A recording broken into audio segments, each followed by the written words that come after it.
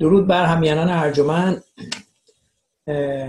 همیهنانی که بیننده برنامه هستند طبق روال هفته های پیش هر سه هفته یک بار من شاهین نجات و دوست ارجمندم شهرام آریان در خدمتون بودیم. چندین ماه که یک بررسی تحلیلی رو آغاز کردیم در مورد نقش دین و مذهب نقش مذاهب در اجتماع در جامعه.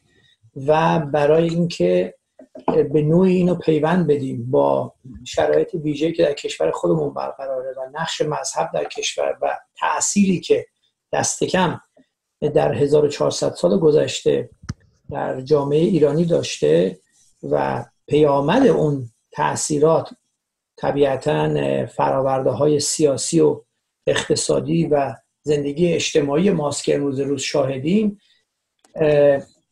در این بررسی به یه متریکسی برخوردیم که در حقیقت این متریکس یک سبودی در سبودی بود یک مکعبی بود که در حال سه در سه بود. سه پارامتر انگیزشی رو در موردش صحبت کردیم. انگیزه انسان ها درباره آنچه که رفتار فردی و رفتار اجتماعیشونه چه انگیزه هایی باعث میشه که اونها کارهایی که می‌کنن رو انجام بدن. و این خودش فکر کنم یه چهار هفته پنج هفته زمان برد که حتما از شهرام گرامی می‌خوام که یک مرور خیلی فشرده بکنه برای آنچه که گذشت برای اینکه فاصله افتاده بین برنامه ها و ذهن ها یکم تازه بشه.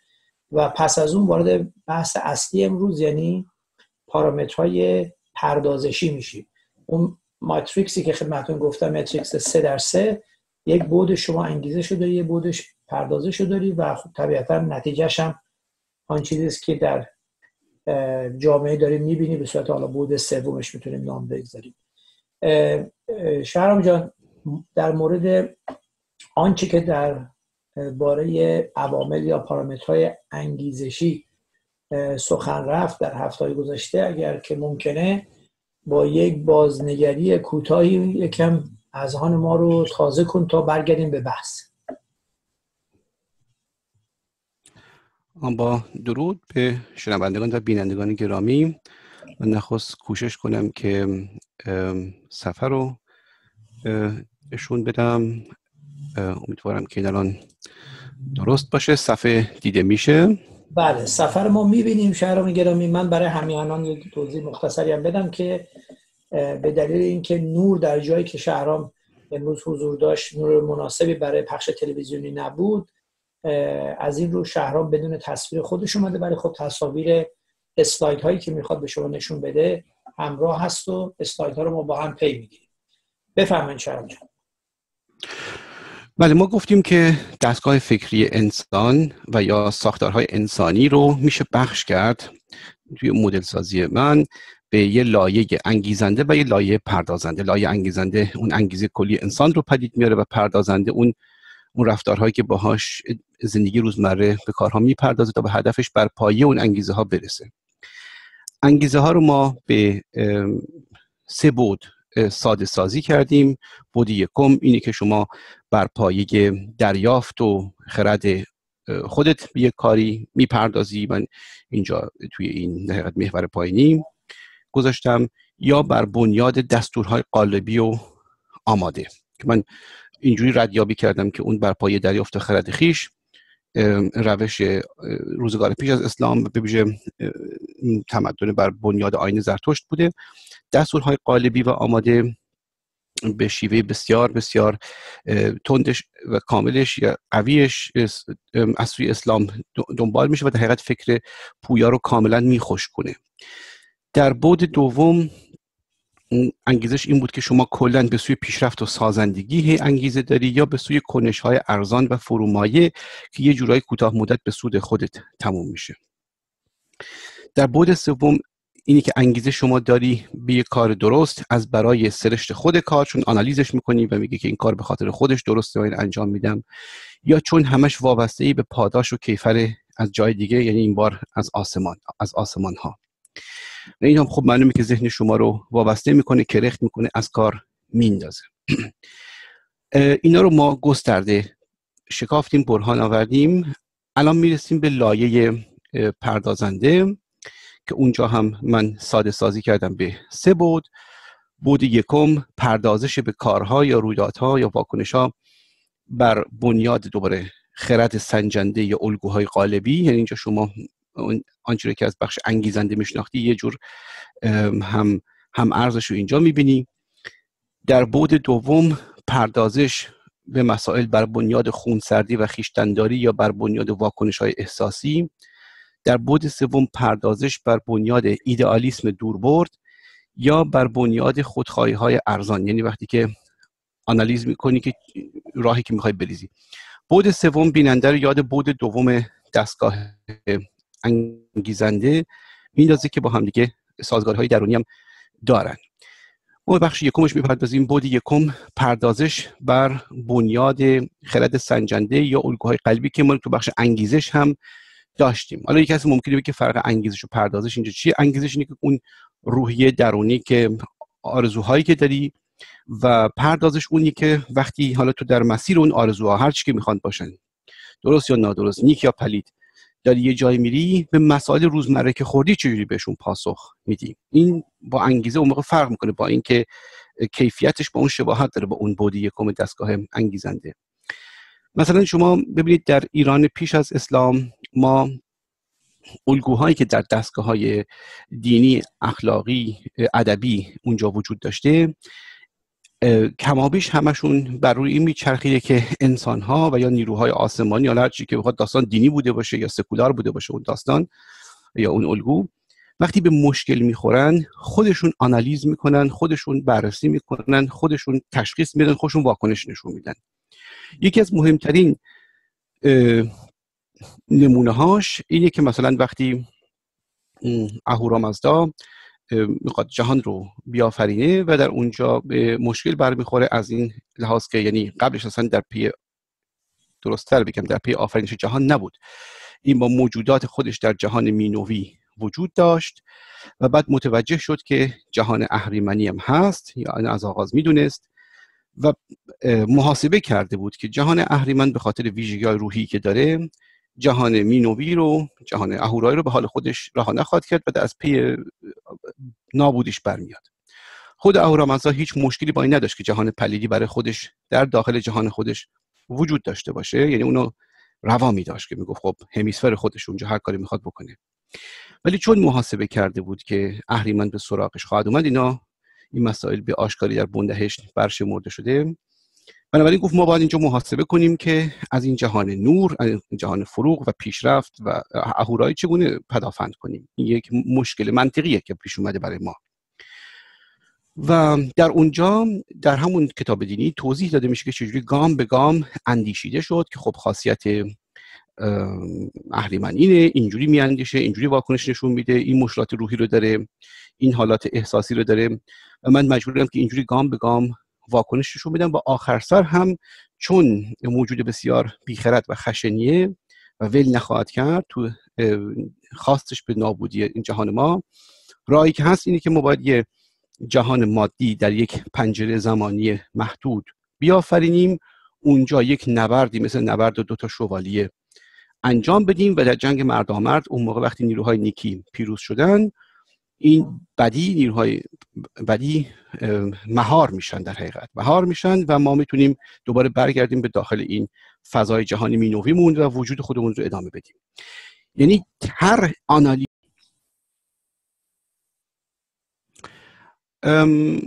اگه بخوایم که این بود یکم دستگاه پردازشی رو که آیا یک کارها و واکنش های شخص یا گروه بر بنیاد خرد سنجنده انجام بشه یا بر بنیاد الگوهای قالبی مثلا یه نگاهی بکنیم ردیابی بکنیم اگه به متون خود پیش از اسلام بازگردیم ببینیم در یکی از مهمترین متون منطقیش یا حالا دینیش فلسفیش که بندهشت باشه اینو در موردش در زوایای گوناگون صحبت کردیم ولی این بار به این مطلب بسیار پیوست داره.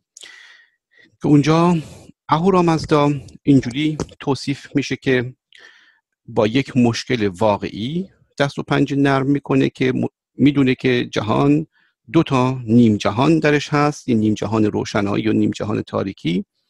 در اون نیم جهان تاریکی اهریمن هست و البته اهریمن از وجود نیم جهان روشنایی آگاه نیست و اهورامزدا محاسبه می‌کنه که او آگاه خواهد شد و به خاطر سرشت روحی که داره اینو روا نخواهد داشت. این وجود این جهان روشنایی رو. خود اهورامزدا با جهان تاریکی تا موقعی که تو جهان خودشون بمونه هیچ مشکلی نداره. اونو روا میداره. تو جایم اینو آشکارا به اهریمن میگه که میگه که تو جهان خود باشی من کاری ندارم که شما اونجا پلیت هستی چیکار می‌کنید؟ مسئله شخصی خودتونه.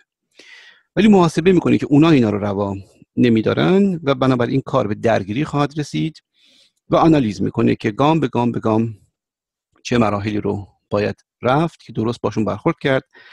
آخرین نتیجه که بهش می‌رسه اینه که واسه اینکه این نبرد و درگیری و آمیزش با پلیدی با جهان پلیدی تا بی نهایت نره ما یک در پنجره محدود زمانی یک جهان مادی پدید میاریم.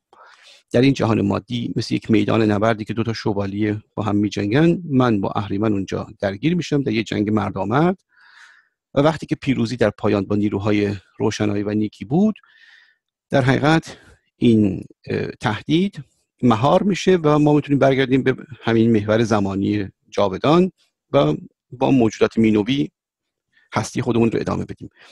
یعنی جهان مادی بر پایه یک نیاز خرد بنیاد پدید آورده شد که اهورامزدا یک مشکل واقعی داشت به قول کارل پوپر که می‌گفت مهمترین کار کرده یا وظیفه یک موجود خردمند یا اندیشه پرداز یا دارای کلا اندیشه حل مشکلات پیرامونه.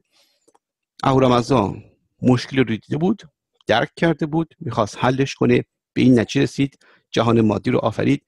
انسان رو یا به قول خودشون مردمزاد رو به اون شیوهی که میبایست آفرید و الاخر که دارای خرد باشه از پس این کارا بر بیاد.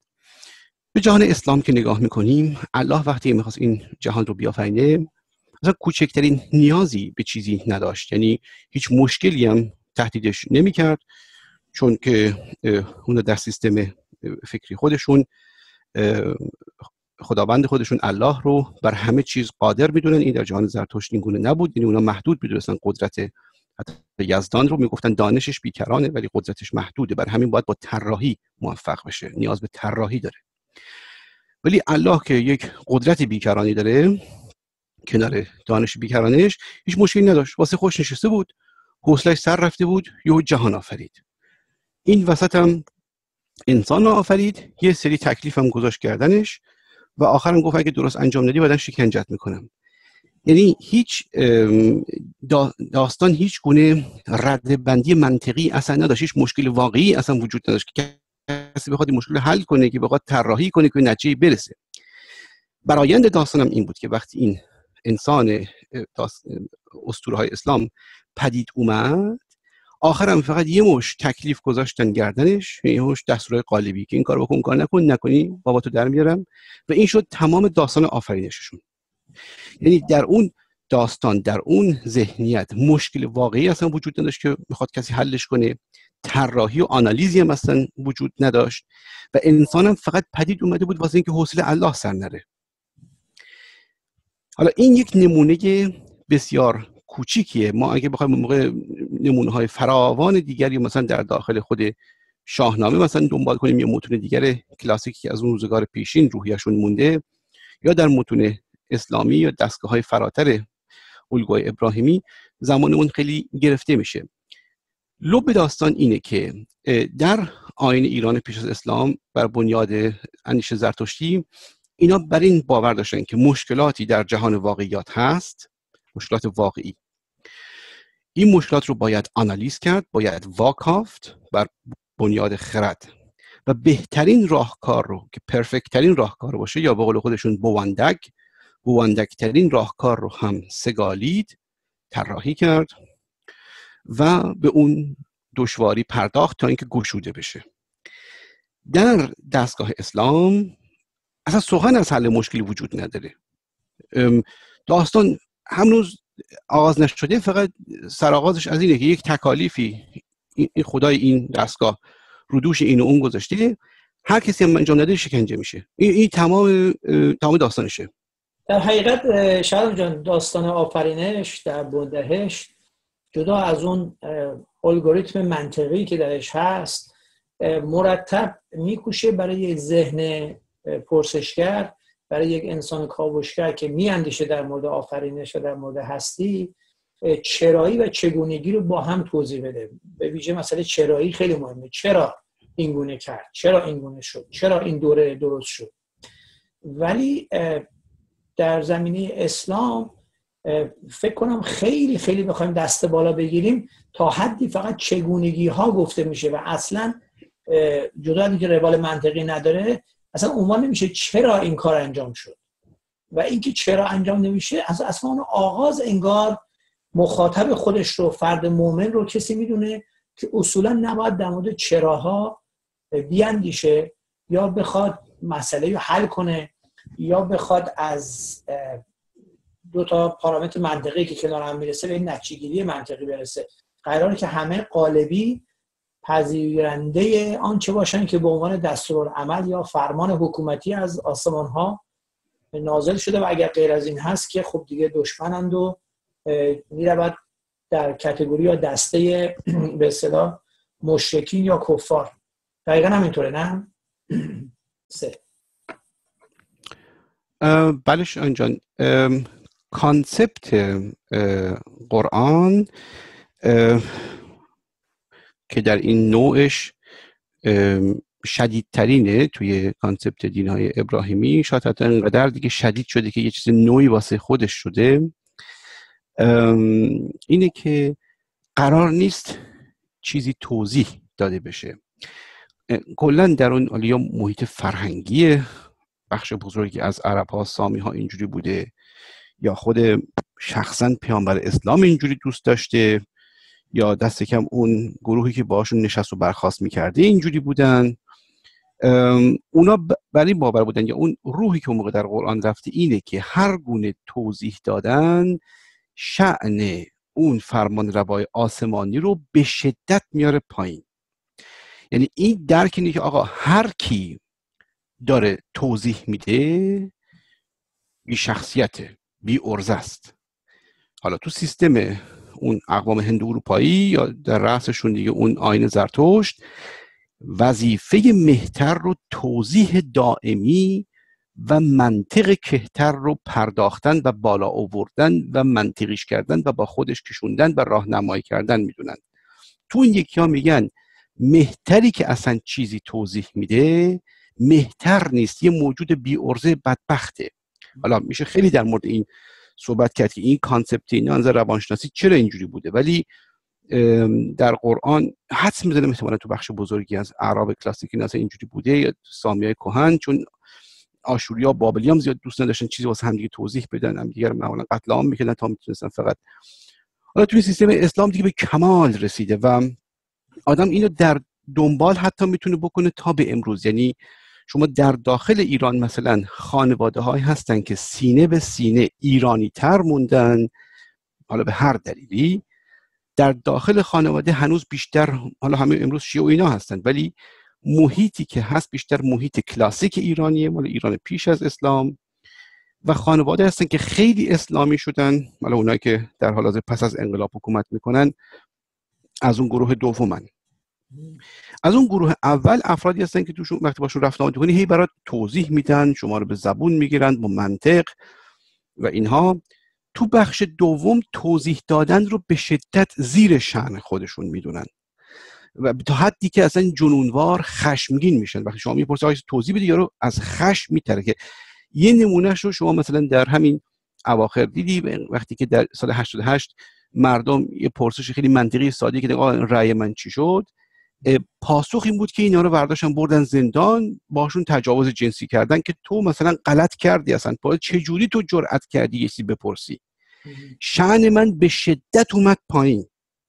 چون من اصلا همین که ازم سوال شد شعنم اصلا به شدت اومد پایین. چون سوال یا پرسش این معنی رو داره که من منی که هیچ وقت لازم نیست چیزی رو توضیح بدم من پس حتما باید چیزی رو توضیح بدم. این باعث شده بود که مردم رو برداشتن بردودن باشون تجاوز جنسی می‌کردن. چون اینقدر به خشم اومده بود این کسانی که مال این سیستم روحی اینا هستن مال همین بزرگ شدگان اون سیستم اسلام که یه پرسش یعنی کسرشن تا حد مرگ. این خیلی عجیب و غریبیه که اینا چرا اینجوری و چرا دینشون اصلا از اول اینجوری بنیاد گذاشته شده.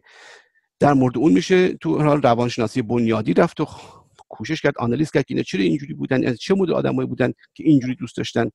ولی بنیاد دینشون از اول اینجوری ریخته شد. الله هم واسه کسی چیزی توضیح نمیده. و شما یه خورده زیادی هم پرسش بکنی یعنی داری در کار ایشون شراکت می‌کنی یعنی داری شرک انجام میدی. شرک هم که دیگه میبرنه دوباره همون شکنجه آسمانی.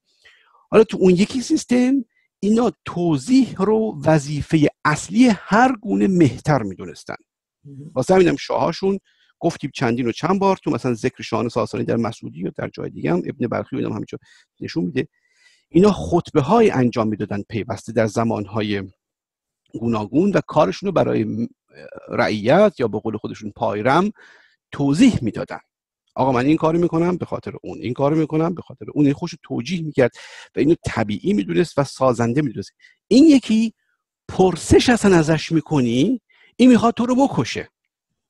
این نه فقط در زندان های جمهوری اسلامی که یعنی حقیقت اون ماهیت اسلامی رو دوباره در ایران برکشیده پس از انقلاب در تک تک خانواده های اسلامی هم. درک مثلا از پدر اینه که این یه موجودیه که اگه ازش بپرسی مثلا پدر شما در این مورد چرا مثلا چون این فرمودید؟ اون ممکنه انقدر با لگت بزنه تو شکمت که شما اصلا بمیری. چرا؟ چرا داشت پرسیدی که آقا این چرا این کار اینجوری؟ این در خانواده اسلامی قابل مشاهده است در ایران. یعنی اونایی که واقعا اسلامی هستن اونا سیستمشون اینجوریه که اصلا پرسش یعنی کسر تا حد مرگ. و این خیلی جالبه که خب از اول همش به هم گره خورده و نشون میده که خب شما وقتی داخل این سیستم اون سیستم بزرگ شده باشی مثلا راه دیگه تا روز رستاخیز یه چیز دیگه میشه. در داخل این بود یکم که بر بنیاد خرد کار می‌کنی یا بر بنیاد الگوهای قالبی دستوری. درست کاملا. ادامه بدم شاین جان؟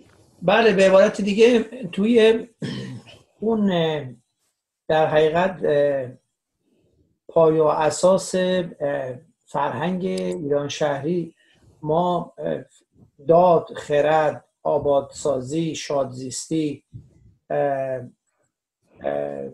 هفت تا پارامتر رو در حقیقت لحاظ می کردیم که اینا مجموعه فرهنگ ایران شهری رو شکل می‌داد در مورد خرد یه دو مرحله تعریف کرده بودیم. در سه مرحله.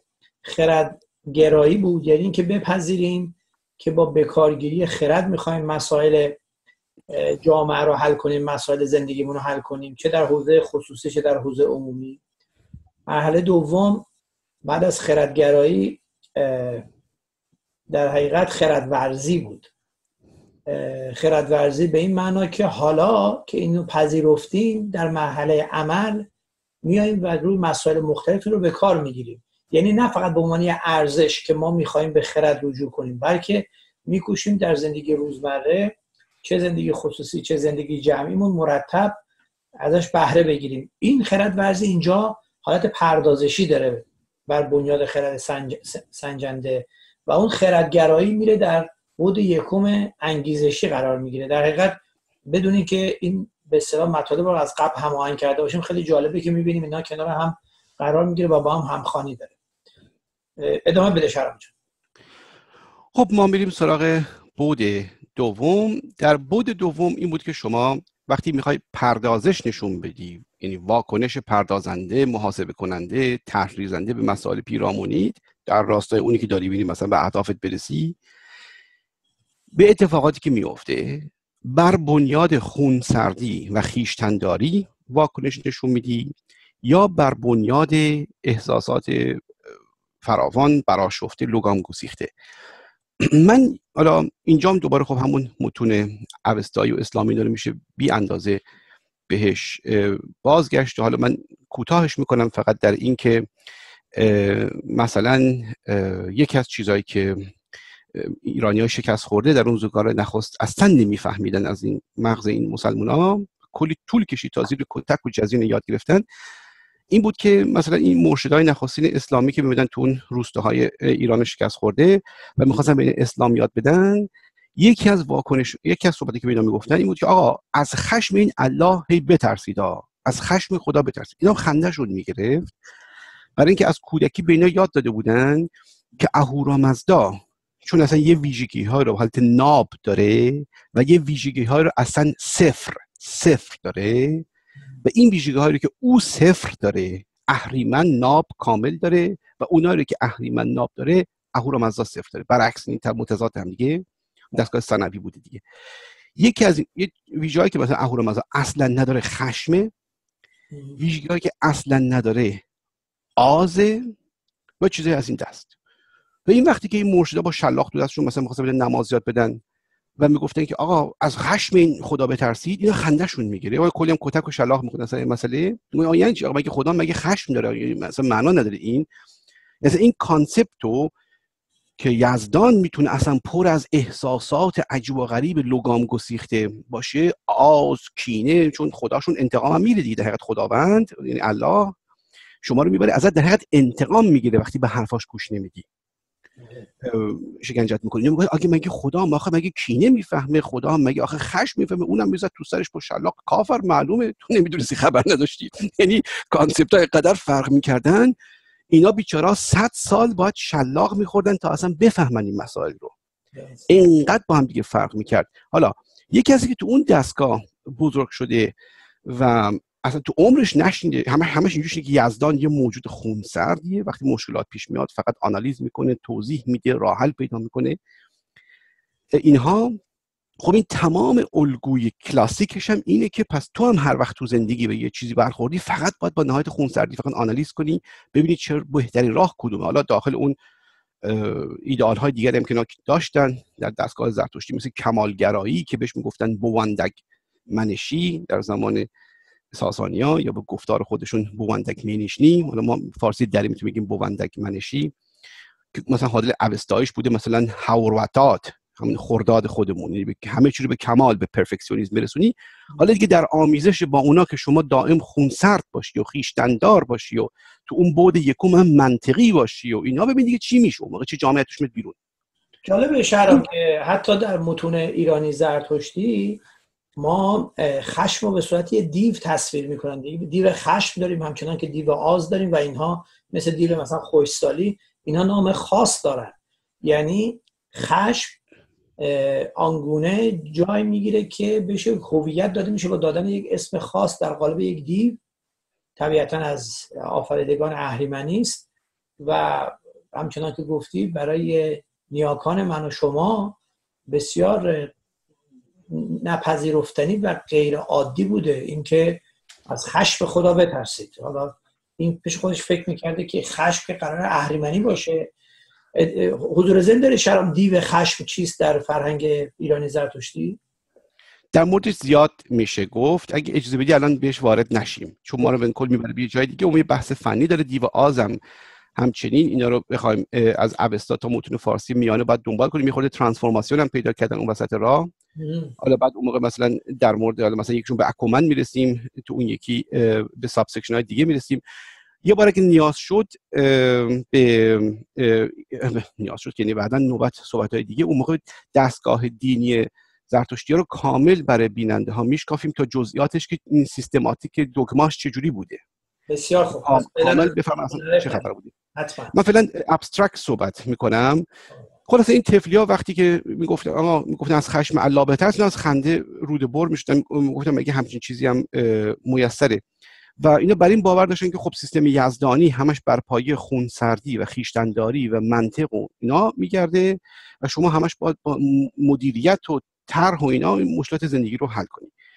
اون یکی ها چون بر این باور بودن که اصلا خداوند اصلا نیاز نیست خیلی فکر کنه چون خداوند بر همه چیز قادره. عرض کنم فرقش با اهورامزدی که اهورامزد بر همه چیز آگاهه ولی بر همه چیز قادر نیست. بر پایه طرحهای پیچیده فقط می‌تونه مشکلات کیهان رو حل کنه. الله مثلا می‌گیره میخوابه خسته میشه بعد بیدار میشه یه بشکم می‌زنه همه جهان اونجوری میشه که دلش می‌خواد.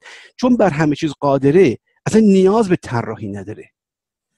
و الگویی هم که به پیروانش گذاشت اینه که آقا مثلا طراحی مال آدمای خیلی سوسوله. ما اگه لازمم شد فوقش مثلا حمله می‌کنیم شبیه خون می‌کنیم بقیه رو می‌کشیم. خیلی نیازی بفهمیم اونا چی کار می‌کنن. وقتی که کشتیمشون بازماندهاشون مثلا میمکیم به عنوان مثلا استعمار.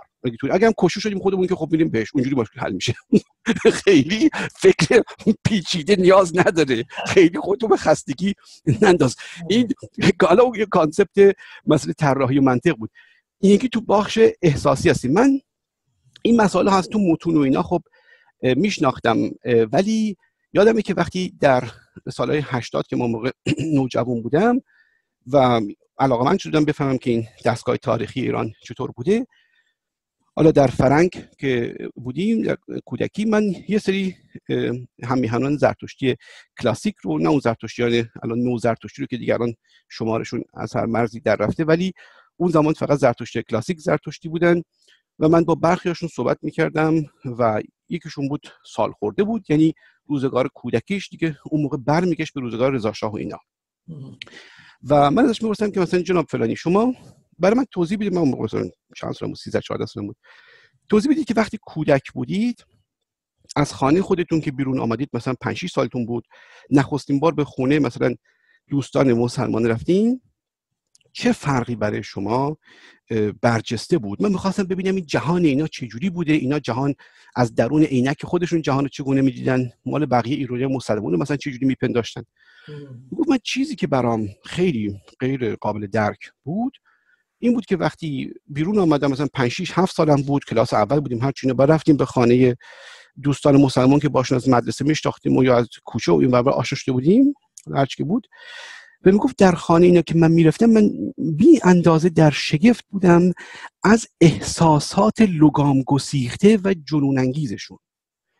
یعنی می‌گفت برای من غیر قابل درک بود که اینها بی اندازه اگه لازم می‌شد مثلا دیگه میخندیدن تا اشک از چشاشون در میومد بعد یهو تاخت می‌زدن به خشم گلو همدیگه رو می‌گرفتن. فشار میدن بدون هیچ پافر بافری اون مثلا یعنی هیچ ترانزیشنی هم نبود همینجوری از این احساس بسیار سخت به اون احساس اندر می اومدن می‌زدن در گوش همدیگه. بعد یهو با هم آشتی می‌کردن دوباره همدیگه رو بغل می‌کردن کلی میگریستن و بعد میخندیدن از این حرفا. و تمام مدت هم در حال داد زدن بودن. حالا این من یه خورده حالت هوموریستیک یه خورده اینو من اقراقش کردم. ولی می‌گفت این حالات عجیب و غریب احساسی که داشتن خشمشون شادیشون گریهشون همه چیزشون لگام گسیخته بود این برای من غیر قابل درک بود. چون از محیط زرتشتی رو نمیشناختم یا افراد بیشتر آرام بودن خیشتندار بودن چه شادیشون چه خشمشون همه چی در یک طرح خیشتنداری و منش میانه رو و سازمان یافتی بود. من این حالات عجیب و غریب اینا رو تا ندیدم. یا وسط خیابون اربده هایی که بر هم میکشیدن هم های مسلمون یهو به جون هم میافتادن. اصلا معلوم نبود سر یه تصادف دو خودرو ممکن بود همدیگه رو بکشن. و می‌گفت من اینا رو می‌دیدم و نمیفهمیدم. می‌گفت اینا چرا اینجوری می‌کنن؟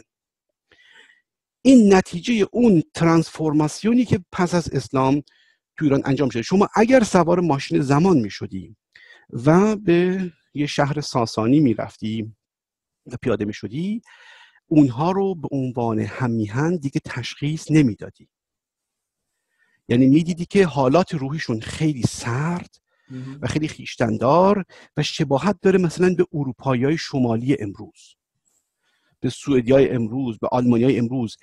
یه ایرانی رو اونجوری که تو از کودکی آموخته بونه ایرانی اونا رو توش نمی‌دیدی. اون خنده ها اون گریه ها اون خشم ها اون اون چیزای عجیب و غریب اونا رو تو اونا نمی‌دونم ممکن حالا واسه احساس قربت هم آدم بکنه چون یه چیز دیگه است. ولی یه چیز دیگه بود. اصلا یه, یه, یه سیاره دیگه بود. یعنی واکنش های احساسی خشم ناگهانی صدای بلند از کوره در رفتن آشتی ناهنگام همچنان که دعوای ناهنگام هست. اینها بیشتر ویژگی های دوران اسلامی ملت ایرانه. در حقیقت ما یه مقداری هم خوددارتر بودیم و هم درونگراتر بودیم. درست میگم چرا؟ از یه مقداری خیلی بیشتر. یعنی ارز کردم شبیه اروپای شمالی بود. درست. و اون کسایی هم که اون زمان از کشورهای همسایه می اومدن اونایی که احساساتشون لگام گسیخته تر بود مثلا ترکان اون زمان یا عرب های اون زمان یا اینها در ایران که میبدن اگه گزارشی پراکنده اینجا اونجا. مانده این شگفتی درشون مانده که ایرانیا رو به عنوان یه موجودات در حقیقت خونسرد و یه خورده میشه گفتش که گاهی میشه گفت چیز بشون یا چیزی بگم یوبس یا نمی‌دونم یا همون جوری که الان خود ایرانیا به اروپای شمالی نگاه می‌کنن. درسته. که میگن آقا اینا خیلی یخنا این اینجوری هم مثل ما نه درست میخندن نه درست در گوش هم دیگه می‌زنن. این حالات اون زمان همسایه های عرب و اینا به ایرانیا داشتن. یعنی خیلی براشون غریب بود این حالات شست رفته و منظم و به سامان براشون یه حالت سردی بود درکش نمی‌کردن. و اینو خب شما در یه جامعه که بخواد صنعتی بشه اینا نیاز داری توی حالا تو بخش گفتاری هم خب من گفتار رو به اندازه خب اون عمل کرد قبول ندارم. تو بخش گفتاری هم مثلا تو همین خطبه هایی که از شاهان باستانی نمونده همیشه به این مسئله خیشتنداری خیلی اشاره می‌کنن. درست. یعنی نشون تو جامعهشون یه دونه یه, یه دونه ورچیو یه فضیلت بسیار مهم بوده و البته نیازم نبوده که اداشو در بیارن بلکه داشتنش مثل همین اروپایی شمالی. حتی شرم جان کوتاهگویی هم بوده یعنی خود سخنرانی های شاهان ساسانی هنگامی که بر تخت میشستن که می‌خواستن برنامه های کلان به اصطلاح دولت خودشون و شهریاری خودشون رو برای مردم برای مردم و بویژه برای بزرگان بیان کنن شما تقریبا کوتاه می‌بینی. یعنی در چند خط اصل قضیه رو گفتن. فکر کنم حرافی پرحرفی و زیادگویی و گذافه گویی هم از اون ویژگی که در این هزار سال گذشته به ویژگی های اخلاقی ما افسوده شده. ببین کلا شما چون وقتی اگه هدف تو زندگی مشکل حل کردن نباشه گرفتار حرافی و اینا میشی. فرهنگ عرب هم از از قبل از اینم که پیامبر اسلام بیاد رو حرافی و اینا کهنکار بود. حالا این مثلا چه در مثلا مباهله هاشون بود یا در مثلا رجز هایی بود که پیش از رجز اصلا حالا رجز مثلا از راه اونا اصلا تا اندازه بعدا احتمالا حتی توی شاهنامه هم پیدا شده و فردوسی به می‌پردازه. در ایران قدیم رجزی در کار نبود. اینا همین شبیه سیستم سیستم فرنگی بود. یعنی اون شخص با عمل می‌خواست متقاعد کنه که من جنگجوترم.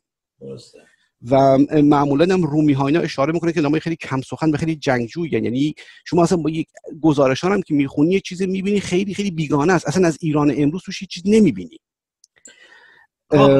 اکثری که می‌بینی وقتی که یه نفر به پهلوان یه سرداری وارد به معرکه جنگ میشه برای جنگ تن به تن که می‌گوید مرد مرد به اصطلاح حریف میطلبه میگه یه نفر بیاد و یه نفر وارد مثلا عرصه میشه و اینو جنگ تن به تن می‌کنن. دیگه اینکه من از فلان قبیله هستم و پدرم این بود و من اسبم اون گونه بود و شطورم این گونه بوده مطلقا ما تو متون قدیمی در ایران نمی‌بینیم.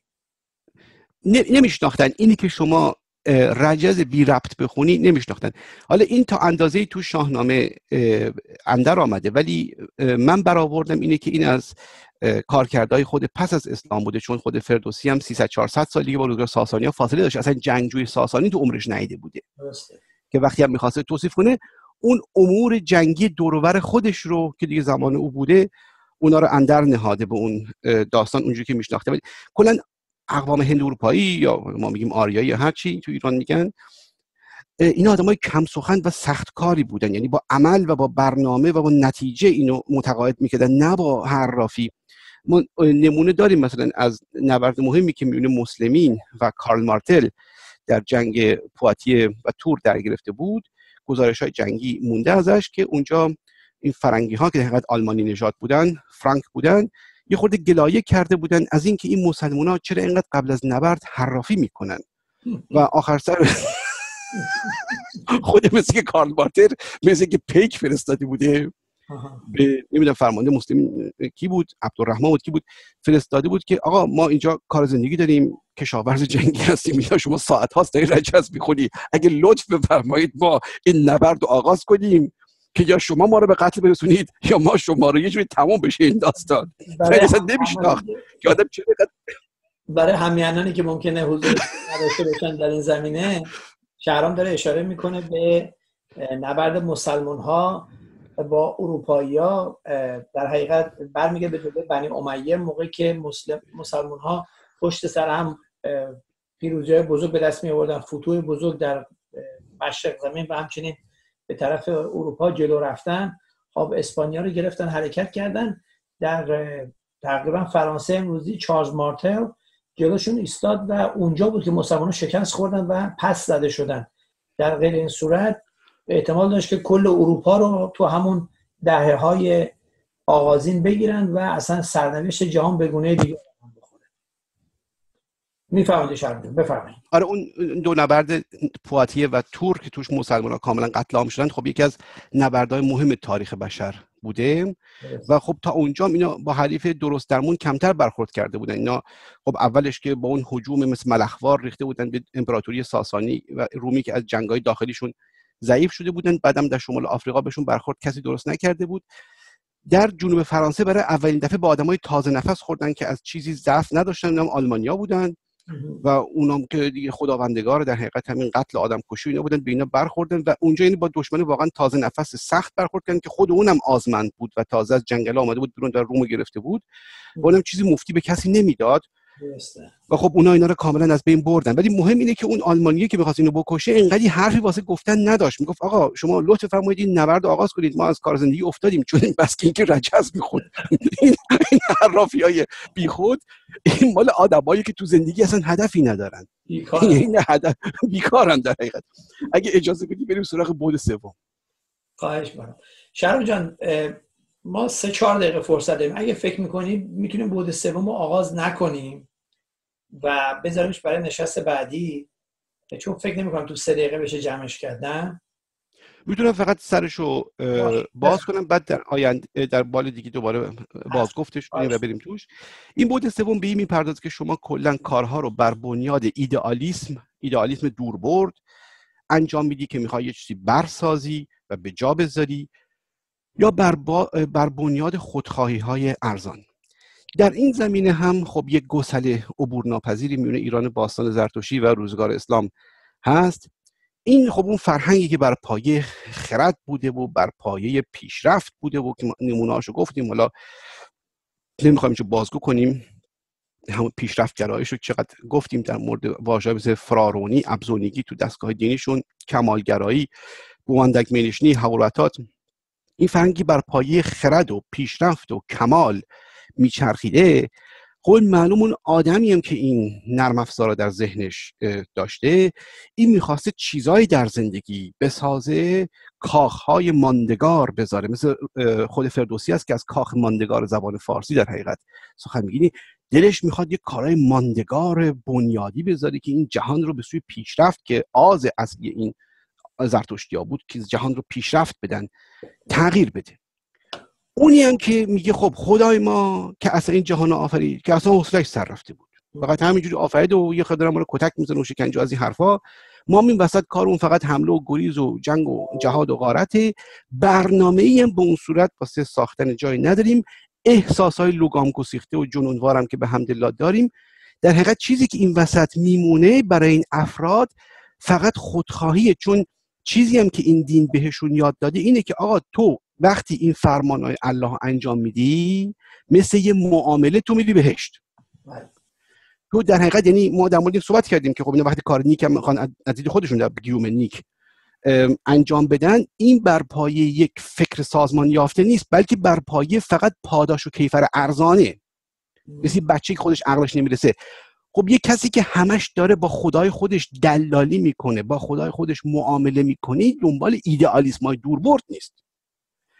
این تا این حد حتی میره که مثلا الان ممکنه بگن نه مثلا ما همین در جهان چه بدونم حالا مثلا حتی تشیع خودمون که من عرض کردم سطحش خیلی بالاتر از تسننه اونجا مثلا ما کسانی رو داریم مثلا این همین سرداران سپاه این اون هستن که از دید خودشون به خاطر یه ایدولوژی مثلا شیعه دارن یه کارایی می‌کنن این مثلا یه جوری هم از ایدئالیسمه. این چندان درست نیست.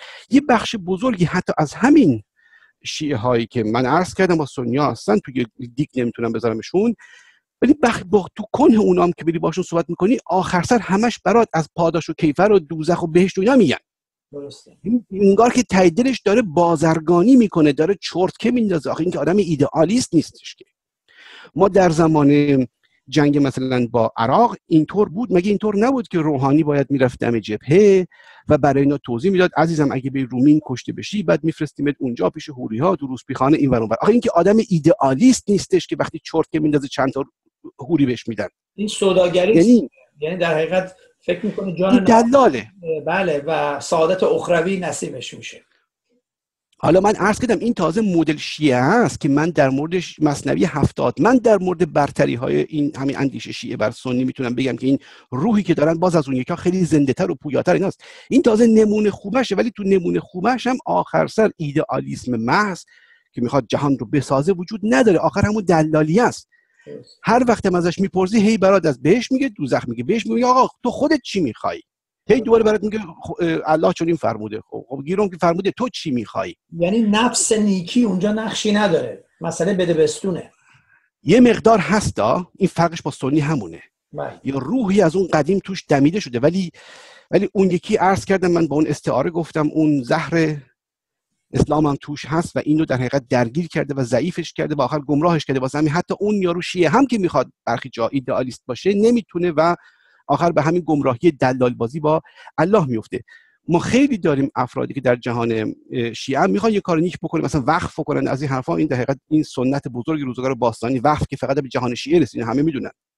خب این یکی از چیزای شناخته شده در ایران شناسی یا اسلام شناسی که فقط جهان شیعه داره چون بازمانده روزگار زرتشتی باستانه. بله. ولی اون وقف کننده های ساسانی فرق داشتن با این وقف کننده های ما. اون یارو می‌خواست مثلا یه آبنباری نمی‌دونم پلی یه چیزی بسازه واسه اینکه جهان رو پیشرفت ببخش از خودش جهان رو به نیکویی بره این یکی حاجی ما که حالا آبنبار یا پل می‌سازه خدا پدرشم بیامرزه ولی وقتی باش صحبت می‌کنی همش برات حساب کتاب می‌کنه که این چجوری تومنی پنج تومن تو اون دنیا گیرش میاد. یعنی کار خوبش هم که از اون روزگار مونده به دلالی فروکاسته شده. این دلالی اسلامی. بله. ولی اینو من اینجا کوتاهتر میگم بار دیگه این مسئله ایدئالیسم در روبروی خودخواهی های ارزان رو بیشتر میشکافم. چون جامعه ایران حالا من جامعه عرب تو اصلا کار ندارم. ما فقط با ایران کار داریم که با اونا قدیما فرق داشته و می‌تونسته به جایی برسه. بله. هر کسی که با جامعه سیاسی یا صنعتی ایران سرکار داشته اینو دقیقا به چشم خودش این خودخواهی های ارزان رو دیده. درسته. یعنی من بعدا ردیابی می‌کنم تو نشست آینده. فعلا از من بس. سپاس. تا موقعی که شهرام از شیر اسکرین خارج می‌کنه سفر رو فکر می‌کنم واژه ایرانی که در زمان ساسانیان داشتیم یا در متون قدیم برای نیکوکاری و وقف در حقیقت اشودات بوده. درست شهرام؟ واژه اشودات به عنوان وقف به کار می‌رفته نه؟ واژه گوناگون داشتن. حالا گذشته از همون دهش به عنوان واژه بنیادیش ولی اهلفداد و اینا می‌گفتن که اهلو اون موقع از همون ارتو با اشو هم خانواده است. حالا اون یه خود گویش ایرانی غربیش جنوب غربیشه شمال غربی. ولی اشودات هم میشه بهش گفت یا اهلودات این کنن یه دهش اهلایی یعنی به حالت برای پیشرفت جهان. بسیار حتما این جستار رو در نشستای آینده پی می‌گیریم.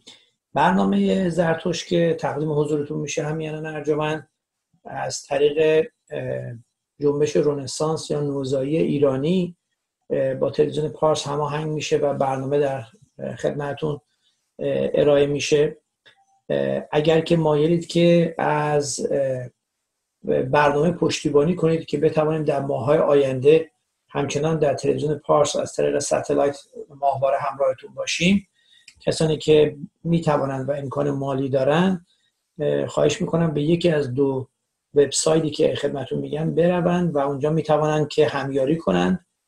هزینه قابل توجهی داره برنامه در تلویزیون یا به سایت iranianrenaissance.com و یا به سایت انگلیسیمون persianrenaissance.org تکرار می‌کنم iranianrenaissance.com یا persianrenaissance.org باز اگه فرصتی باشه هفته بعد در این زمینه بیشتر توضیح خدمتون خواهیم داد.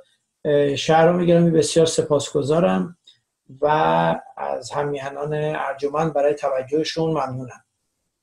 بدرود تا فرصت بعدی.